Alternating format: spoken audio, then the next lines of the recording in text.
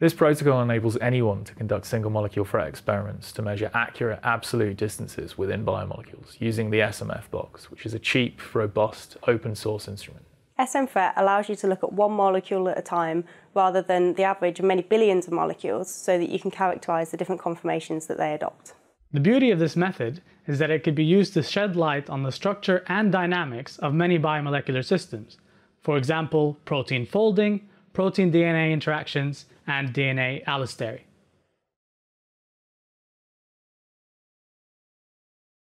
Before beginning an analysis, launch the Laser Control Center and confirm that the continuous wave alternating constant current mode is selected.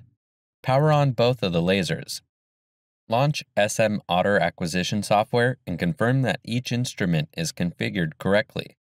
To align the emission path, place a drop of immersion oil onto the objective and carefully place a clean cover glass onto the objective lens, lowering at an angle to the oil to prevent trapping air bubbles between the cover glass and the objective.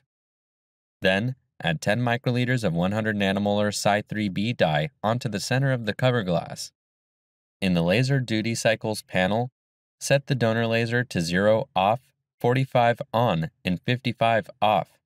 Set the acceptor laser to 50 off, 45 on, and 5 off. Set the alternating laser excitation or ALEX period to 100 microseconds. Open the Z Focus tab.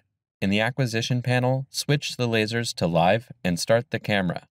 Adjust the exposure so that a bright spot appears centrally surrounded by a black background. Starting from a low Z position, increase the height